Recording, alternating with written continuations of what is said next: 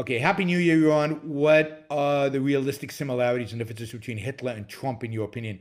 Well, I, I, I think the biggest difference between them, I mean, there, there, are a lot of differences, but, but one difference is that Germany was ready for authoritarianism um, and ready to submit uh, when Hitler rose to power, that it was far more uh, infected with uh, duty philosophy, with a with a duty mentality, with an authoritarian view of the world, with a sense of life that was ready to just take orders than America is. So the biggest difference between them is the circumstances under which they came uh, to power. Uh, I think Hitler was smarter, more charismatic, more devious, more cunning, more scheming, more uh, able to organize and build a movement um, uh, but also obviously more evil and, and more despicable and more hated. And, you know, I don't, I don't think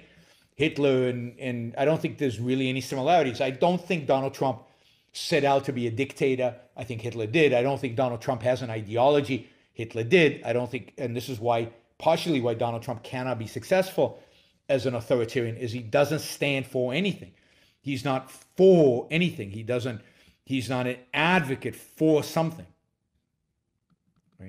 So, uh, you know, Trump is just a, uh, you know, is a pragmatist who stands for nothing, whereas Hitler stood for something evil. So I don't put them on the same scale. I, I, I don't like the comparisons of Trump to Hitler. I don't think it's useful and, and I don't think it's helpful for anything. I don't think it, it, it aids our understanding of either Trump or Hitler. Trump is an authoritarian of a completely different kind.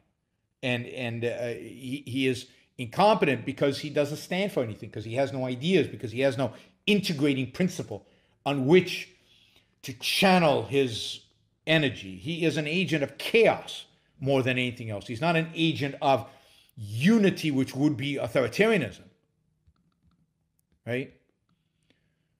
He is a, uh, uh, you know, he is a agent of chaos and and and and that does not that it, that will not result directly in him being authoritarian. It will ultimately, to the extent that he's successful in being about chaos, result in somebody else becoming an authoritarian, whether again or left or right. They will become an authoritarian partially because of the way in which the the, the world has uh, has the world in which Trump is leaving us with. Um, okay. Um, what we need today, what I call the new intellectual, would be any man or woman who is willing to think. Meaning, any man or woman who knows that man's life must be guided by reason, by the intellect, not by feelings, wishes, whims, or mystic revelations. Any man or woman who values his life and who does not want to give in to today's cult of despair, cynicism, and impotence and does not intend to give up the world to the dark ages and to the rule of the collectivist brute. All right, before we go on, reminder please like the show. We, have got 163 live listeners right now, uh, 30 likes.